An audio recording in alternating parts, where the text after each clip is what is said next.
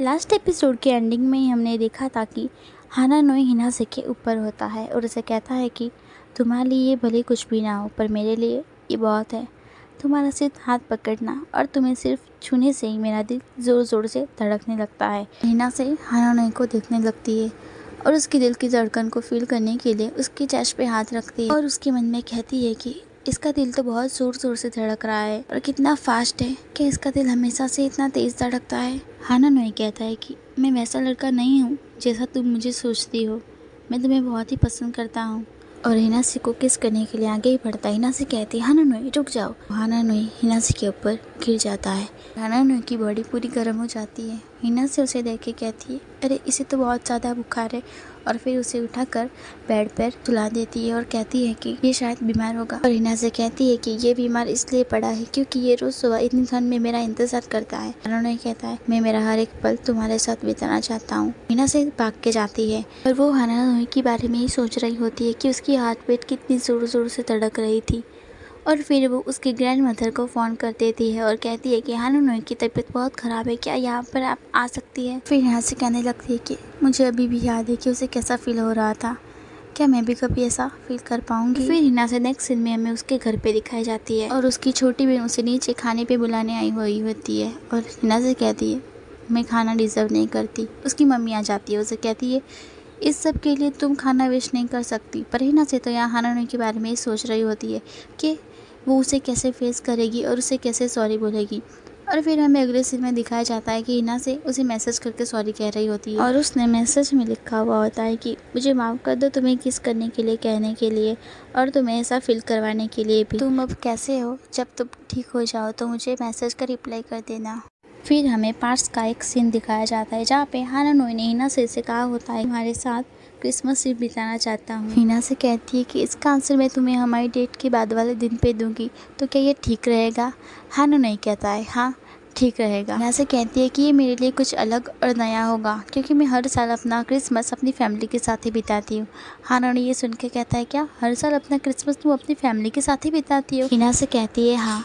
मेरी छोटी बहन को स्केटिंग करना बहुत ज़्यादा पसंद है और उसका शो हर दिन क्रिसमस वाले दिन पे ही होता है और वो एक प्रिंसेस की तरह स्केट कर रही होती है और उसे देखने में और मेरी फैमिली हमेशा की तरह चाहते हैं। नहीं कहता है क्या इसका मतलब तुम अपने फ्रेंड के साथ क्रिसमस पे समय नहीं बिताती हो? हिना से कहती है, उन लोगों के पास मेरे लिए समय ही नहीं होता है। उन लोगों को ही अपने डेट्स पे जाना होता है। हाना नहीं कहता है, कोई बात नहीं। इस बार मैं अपना बेस्ट दूँगा और तुम्हें क्रिसमस में अच्छे से घुमाऊँगा। हिना से कहती है हाँ मैं देख रही हूँ तुम्हें। फिर हमें प्रेजेंट का सीन दिखाया जाता है और हिना से नींद में से उठ के कहती है कि आज हमारे ट्रायल डेट का लास्ट डे है। और अगर आज कुछ नहीं बनता तो क्या कल से हम अजनबी बन जाएगी? और कहती है कि वो अभी भी बीमार है, इसलिए उसने मुझे शायद मैसेज नहीं किया होगा। और कहती है कि शायद वो मुझसे परेशान हो गया होगा। उसे लग रहा होगा कि मैं उसे परेशान कर रही हूँ। और फिर वो सही सोचने लगती है और तभी वहाँ पे उसकी बड़ी बहन आ जाती है। उसे कहती है कि तुम उतारो, अभी भी यहाँ हो, बाकी सब तो कब से गए? वो कहती है कि मुझे नहीं जाना है। उसकी बहन कहती है कि चलो अभी मैं तो चली अपने फ्रेंड के साथ और वो वहाँ से चली जाती है। और हिना से फिर से सब सोचने लगती है और उसे याद आता है कि उसने एक फ्रेंड ने कहा था उसे कि मैंने तुमसे ऐसी उम्मीद नहीं की थी हिना से और हिना से कहती है, ये तो सब पहले की तरह ही हो रहा है। क्या मैं अपनी फीलिंग को बताए बिना ये सब ख़त्म हो जाएगा? और वो वैसे ही घबरा रही होती है और हाना को फ़ोन करने ही जाती है। और हाना को फ़ोन करने ही वाली होती है, तभी उसे सामने से किसी का फ़ोन आ जाता है। फिर हमें हाना नोई भी दिखाया जाता है जो अपने फ़ोन को देख रहा होता है और फिर वो कुछ सोचने लगता है। अगली सीन में हमें हिना से स्क्रीन रिंग में दिखाई जाती है। उसकी छोटी बहन उस पर चिल्ला रही होती है कि तुम बहुत ज़्यादा लेट हो। उसकी मम्मी कहती है, मैंने जो मंगवाया था तुम ले आई? हिना से कहती है हाँ मैं ये जो आपने किट मंगवाई थी, मैं ले आई। उसकी मम्मी जो उसकी बहन की ड्रेस है, वो ठीक कर देती है। उसकी बहन वो ड्रेस पहन कर पोज करने लगती है। उसके पापा उसके पोज पर उसके फ़ोटो क्लिक कर रहे होते हैं और वहाँ पे हिना से भी खड़ी हुई होती है। उसकी मम्मी उसे कह रही होती है कि, तुम आज अपने फ्रेंड्स के साथ बाहर जाने वाली थी तो तुम गई नहीं।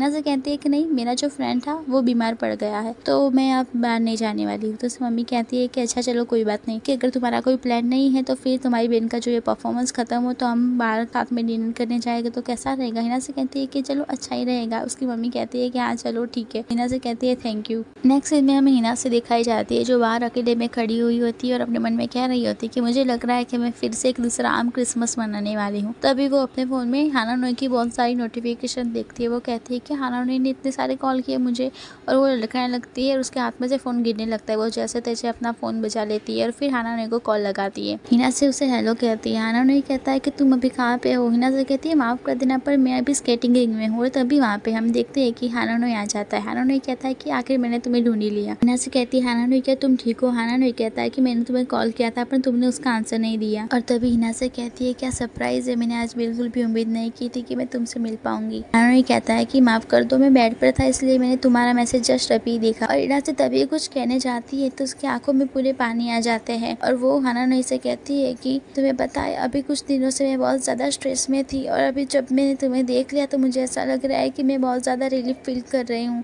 और मुझे लगा कि मैं तुम्हें खो दूँगी, पर तुम्हें वापस देख के मुझे बहुत अच्छा लग रहा है कि तुम मेरे सामने हो। और दूसरी ओर हिनासे की छोटी बहन का जो शो है, वो भी ख़त्म हो जाता है। और फिर से हमें हिनासे दिखाई जाती है, और हिनासे को हाना नहीं जूस ला कर देता है। कहता है क्या ये ठीक है। हिना से कहती है कि, माफ़ कर दो, तुम्हें मुझे ऐसे तरीके से देखना पड़ा। हाना ने कहता है कि, मुझे माफ़ कर दो, गलती मेरी है कि उस दिन मैंने तुम्हें डरा दिया और मेरी वजह से तुम्हें मेरी ग्रैंड मदर को भी कॉल करना पड़ा। इसके लिए तुम्हारा शुक्रिया। हिना से कहते कि, माफ़ी तो मुझे मांगनी चाहिए क्योंकि गलती भी मेरी ही है। मुझे तुमसे वो फिजूल से बात करनी ही नहीं चाहिए थी और तुम्हें हर्ट भी नहीं करना चाहिए और वैसे भी मैंने ऐसा कुछ पहली बार नहीं किया है। एक बार मेरी फ्रेंड को भी मैंने ऐसा ही हर्ट कर दिया था और वो मुझसे दूर चली गई थी। मुझे कई डर था कि तुम भी कहीं मुझसे ऐसे ही दूर ना चले जाओ।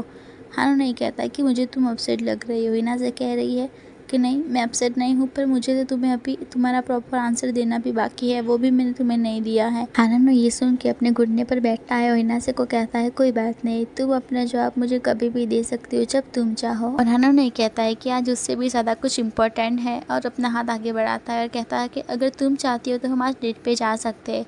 नो मैटर कि तुम्हारा इससे आंसर का जवाब क्या होता है आज का दिन मैं तुम्हारे लिए खास बनाना चाहता हूँ और अपना हाथ आगे करता ही है तो हिना से उसके हाथ में हाथ देने ही वाली होती है। वैसा ही वो अपना हाथ पीछे कर लेता है और कहता है कि मैं भूल गया था, मुझे माफ़ कर दो, पर मैं पहले जैसी गलती नहीं करना चाहता।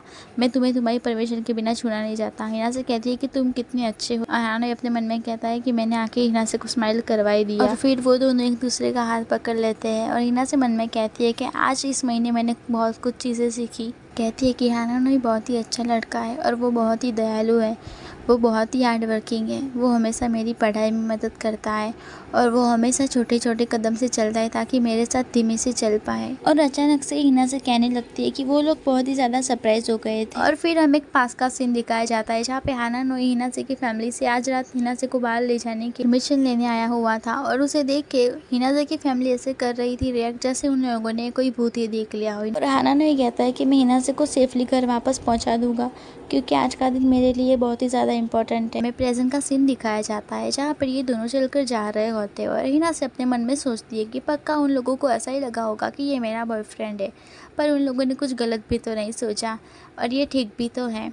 और रीना से हाना नोई को कहती है, क्या तुम ठीक फील कर रहे हो? हाना नहीं कहता है कि हाँ मैंने दो दिन रेस्ट कर दिया है तो अभी मुझे अच्छा लग रहा है। और मैं एकदम ठीक हूँ, और सिर्फ़ साल में एक ही तो चौबीस दिसंबर आता है, वो मैं तुम्हारे साथ बिताना चाहता हूँ। और तुम्हें याद है कि मैंने तुमसे कहा था कि आज का दिन मैं तुम्हारे लिए बहुत ही ज़्यादा स्पेशल बना दूँगा। और नेक्स्ट दिन में हमें दिखाया जाता है कि वो लोग यहाँ एक अम्यूजमेंट पार्क में आए हुए होते हैं, जो अम्यूजमेंट पार्क पूरा लाइट से घिरा हुआ होता है।